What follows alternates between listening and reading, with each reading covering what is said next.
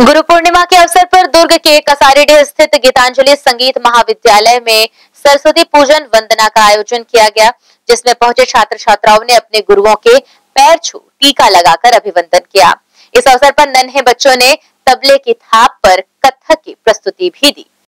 दुर्ग के कसारेडी स्थित गीतांजलि संगीत महाविद्यालय में गुरु पूर्णिमा के अवसर पर सरस्वती पूजन वंदना कार्यक्रम का आयोजन बुधवार की शाम किया गया। इस अवसर पर संस्था की अध्यक्ष रत्ना नारायण देव एवं गुरुजनों द्वारा माँ सरस्वती के तैल चित्र पर माल्यार्पण कर दीप प्रज्वलित किया गया। इसी कड़ी में महाविद्यालय के विभिन्न संकाय के शास्त्री, गायन, तबला कथक भरतनाट्यम सुगम संगीत के छात्र छात्राओं द्वारा सरस्वती वंदना के साथ साथ अपनी प्रस्तुति भी दी गई। गौरतलब है की गुरु पूर्णिमा के अवसर पर गुरुओं को पूजे जाने वाले इस दिन सभी क्षेत्र के जुड़े लोग विद्यार्थियों द्वारा अपने गुरुओं का आशीर्वाद लिए।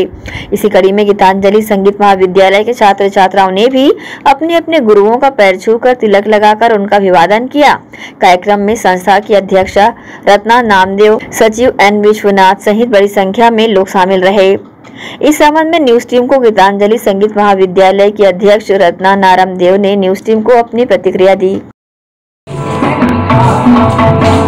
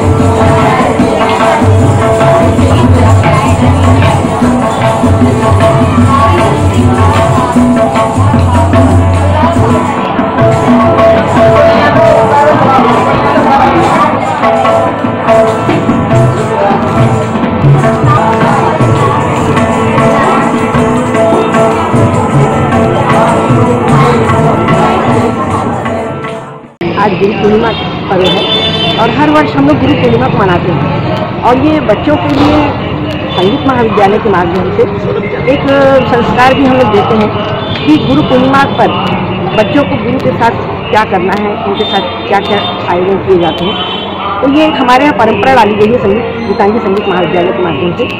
और हम लोगों ने बच्चों को आज एकत्रित किया है। उनके माध्यम से गुरुओं का सम्मान होगा।